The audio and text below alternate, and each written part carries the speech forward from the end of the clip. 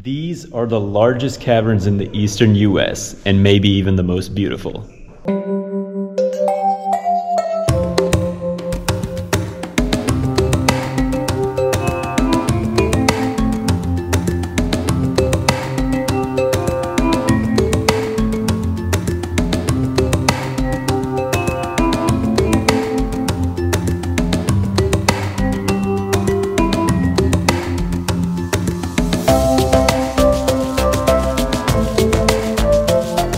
What's going on guys? Welcome to my channel. I'm Aman Luthra and today we are going to go check out the Luray Caverns, which is on the western side of Shenandoah National Park in Virginia. It's $32 per person to come here or $16 if you have kids. There's also a garden maze and a rope adventure park which you can check out here which you have to pay additional fees for, but today we're just going to check out the caverns and some other amenities that are included with the ticket.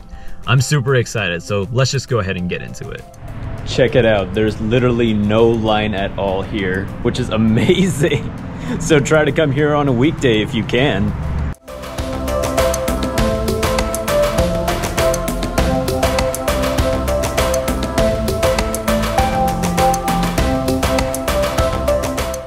The Luray Caverns are a result of 400 million years of geology. There are stalactites and stalagmites that are multiple stories tall, and some sections of the caverns have ceilings that are 10 stories high. It is so vast that the National Park Service has made it a registered national landmark.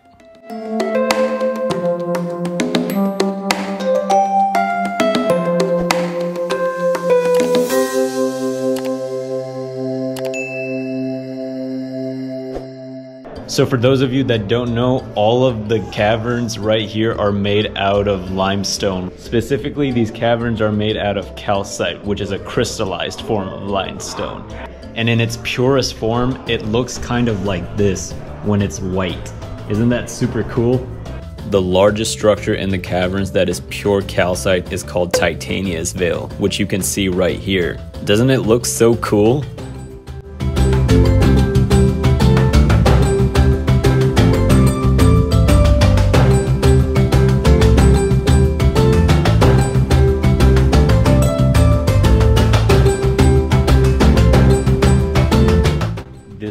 Here is Dream Lake, which is the largest body of water in the caverns. And check it out, you can see the stalactites from the ceiling reflecting on the water. Isn't that so cool?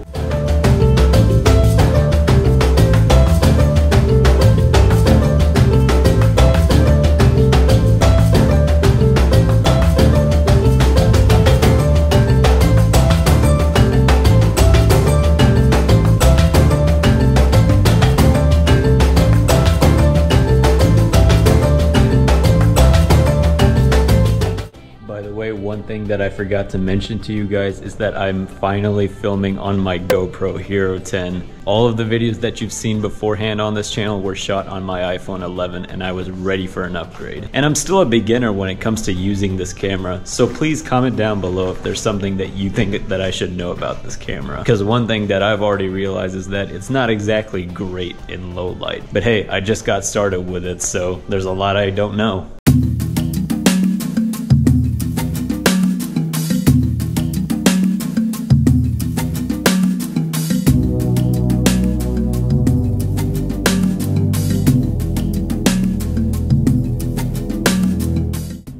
This right here is Saracen's tent, and you can see a stalactite right here, which fell from the ceiling almost 7,000 years ago. That stalactite that you see lying horizontally is there because of an earthquake that happened almost 7,000 years ago, and it weighs almost 170 tons. Saracen's tent has stalactites that are so thin and delicate that you can actually see the light through some of them, like this one over here.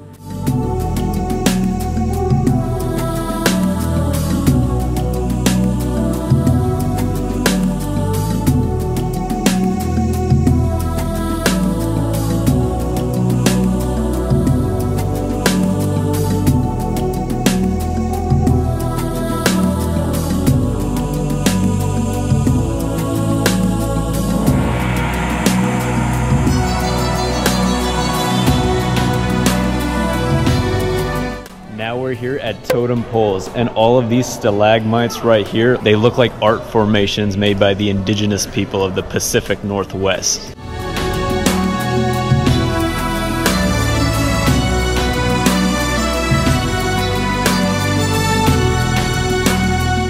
And now we're here at Giants Hall, which is home to the largest room and column in the entire caverns. This right here is double column. Double column is 47 feet tall, which is twice the height of a giraffe. Maybe that's where the double in the name comes from. After you've seen Giants Hall, you should head down the walkway in this direction to the cathedral and it's home to the largest musical instrument in the world, which is the Great Stalacpipe organ player. The organ player is considered to be the largest musical instrument in the world because it spans across three and a half acres of the caverns, and the way that it makes music is just by gently tapping the stalactites on the ceiling. Check out the sounds that it makes.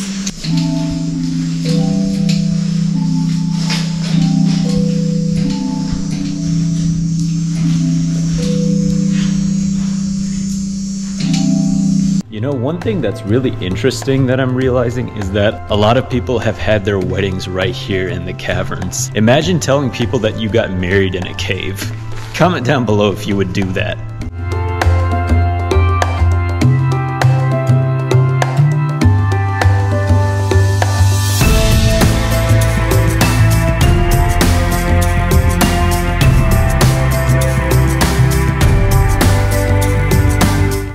Right before you head out of the caverns, you're gonna pass by the wishing well. And this was the first wishing well that I've ever seen that wasn't man-made. It has this turquoise look to it because of the way that the water reacts with the copper pennies.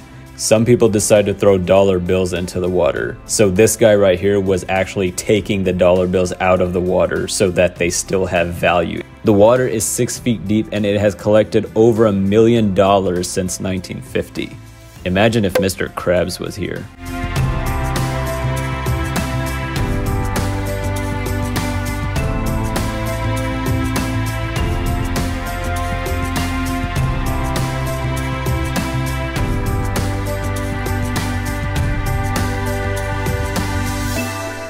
So even though we're done exploring the caverns, there's still a lot more that comes with your ticket right here. And the first one up is the Car and Carriage Museum. So let's go over there right now.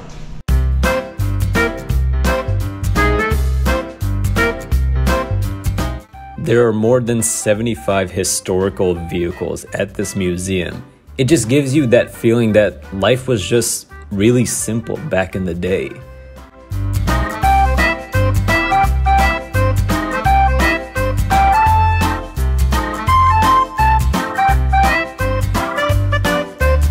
One of the most impressive vehicles is this Mercedes-Benz from 1897, and it's still in operating condition. It's so big that it probably would not fit in your garage. And another one that's really cool was this 1925 Rolls-Royce, which was once owned by Rudolph Valentino, who was a silent film star from back in the day.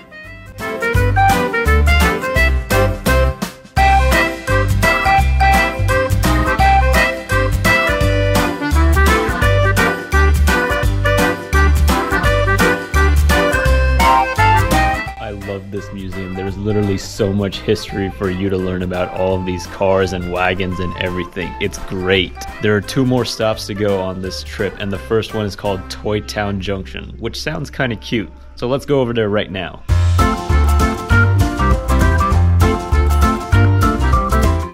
Toy Town Junction is a collection of trains and toys that were given to Richard Warden, who is now a retired Methodist minister. He got his first train back in 1941 from his parents as the US was recovering from the Great Depression. And now he shares all of his toys and trains with all of us so that we can appreciate them too. It sounds like he had really good parents.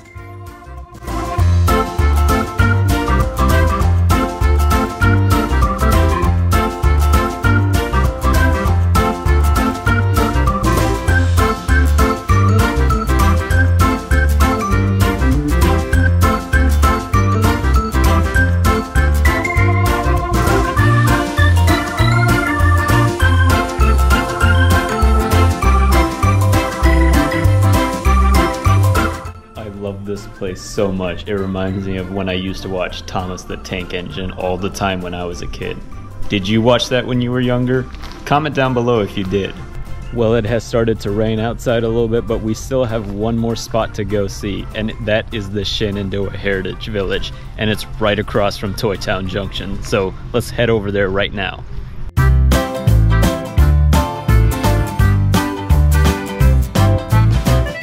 The village is a seven acre recreation of a farming community from the 19th century. You can find a bunch of historical buildings over here. Some of them were preserved while others were rebuilt one brick at a time. In the summer when it's warmer, you'll be able to find cottage style gardens around here as well as a vineyard.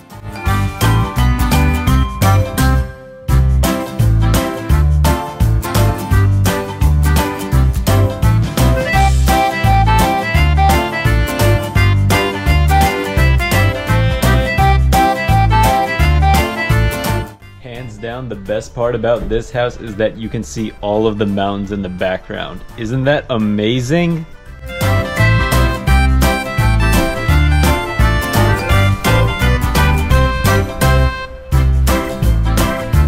Well, what a day it has been today. We saw the caverns, we saw the Carriage Museum, we saw Toy Town Junction, and we saw the Shenandoah Heritage Village.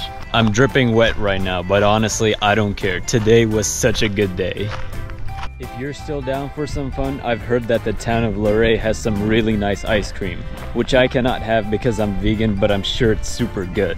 If you enjoyed this video, make sure to give it a like and subscribe down below. I make outdoor adventure videos just like this one pretty regularly on this channel. Although I guess this was technically an indoor adventure, so if that's something that you're into, make sure you turn on your notifications as well.